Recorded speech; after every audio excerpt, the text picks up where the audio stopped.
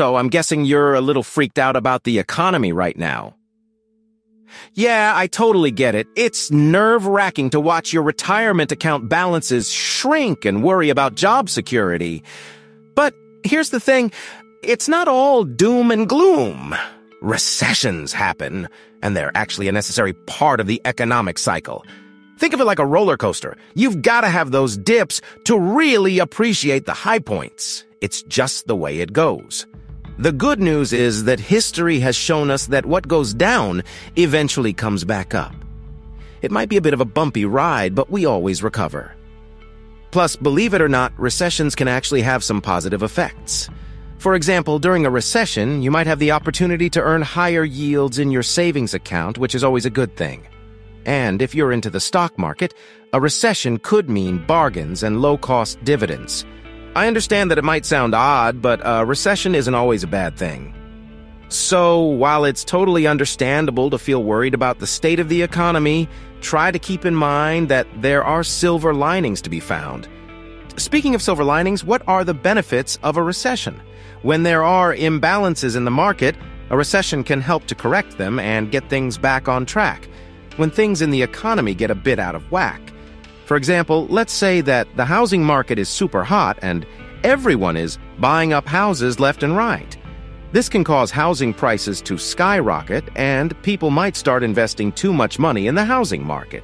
This is a market imbalance. So how can a recession help fix this? Well, when a recession happens, people start to tighten their belts and spend less money. This can cause a downturn in the housing market and bring prices back down to a more reasonable level. Sure, it might be painful for some people who invested a lot of money in the housing market, but in the long run, it can actually be beneficial for the economy as a whole. One real-life example of this happened back in the early 1980s. The U.S. was dealing with high inflation rates, and the Federal Reserve responded by raising interest rates. This caused a recession, but it also helped to bring inflation rates down from 11% in 1979 to 5% by 1982. After that, the economy grew steadily for the next eight years. Another example of a market imbalance that a recession can help to fix is a dot-com bubble. In the late 1990s, everyone was investing in tech companies and the stock market was going crazy. But eventually, the bubble burst and the market crashed. It was painful for a lot of people, but it helped to bring the tech industry back down to earth and set the stage for future growth. The second reason why economic recessions are bad, not that bad, is that they can actually motivate us to save some money.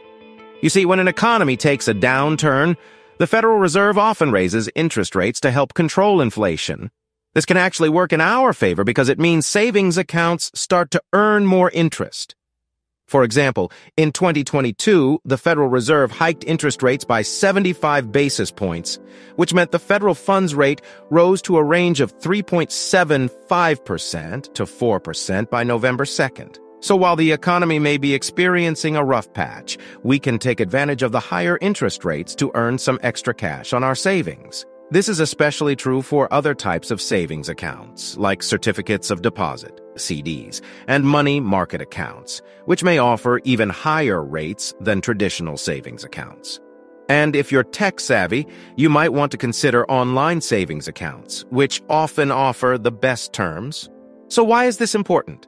Well, higher savings account rates mean stable returns on our money, even when other types of investments may be subject to more risk during a recession. This makes it a great time to focus on building up your emergency fund. By having a cushion of cash on hand, you can be better prepared for unexpected expenses or even job loss. Plus, once the economy starts to recover, you can use the money you saved to invest in other opportunities. Maybe you want to take advantage of lower stock prices or invest in a new business venture. Either way, Having that extra cash on hand can give you the flexibility to take advantage of new opportunities as they arise.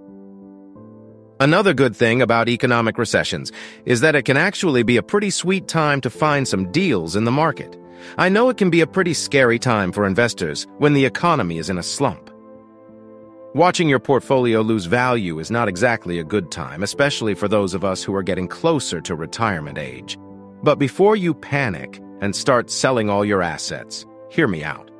Believe it or not, recessions can actually be a great opportunity to find undervalued assets and get in on some bargains. By keeping a long-term perspective and not giving into the temptation to sell off everything, you can position yourself to come out on top when the economy inevitably bounces back. One strategy that can work well in a recession is to identify stocks of companies that you believe are resilient and have the potential to recover from any downturn. When the economy takes a hit, even good companies can see their stock prices drop. But this can be an opportunity to buy shares at a reduced price. By purchasing these undervalued assets, you can lower the average cost paid for your portfolio, which can set you up for extra gains when the stock recovers. Let me give you an example. Imagine you own shares in a company that you believe in, but the stock has lost value due to the recession. Instead of selling those shares, you could buy additional ones at a reduced price. This would bring down the overall cost per share that you paid for your position, making it easier for you to break even and eventually make some profits when the stock bounces back. Another benefit of a recession is that declining stock prices can actually increase the yield on dividends. When the price of a stock drops, its dividend yield goes up, which can generate higher returns for shareholders. But this is only true if the company is able to maintain its dividend payout during the recession. That's why it's important to do your research and find companies with a history of stable payouts and the capacity to weather the current downturn. For example, let's say you're looking at two stocks with the same dividend yield. One company has a long history of stable payouts and a strong balance sheet, while the other has a history of cutting dividends during tough times. In this scenario, it's clear that the first company is a safer bet for generating income during a recession. One other interesting silver lining here is that when the economy is in a downturn, lower interest rates could be on the horizon. Even though the start of a recession can often be accompanied by interest rate hikes, as the economy continues to struggle, policymakers will often lower interest rates in an effort to give it a boost. Now you might be thinking, wait, won't lower interest rates make my savings account less appealing? Well, yes, that's true. When interest rates are low, savings accounts won't generate as much return on your investment. But the good news is that there are other benefits to lower interest rates. For example, when the Federal Reserve lowers the Fed funds rate, it can also lead to lower mortgage rates. That means if you're thinking about buying a home, a lower interest rate environment during a recession could be a great time to take the leap. With lower mortgage rates, you might be able to afford a larger home or get a better deal on your monthly mortgage payments. Or maybe you're a small business owner who needs a loan to keep your company afloat during tough economic times. Lower interest rates could make it easier for you to get the funding you need without having to pay exorbitant interest fees. Recessions are tough, but they can have some silver linings if you're willing to think long term. Lower asset prices can create buying opportunities for investors, while interest rate changes can mean cheaper loans or higher savings account returns. But let's not forget, none of this makes up for the hardship of a recession.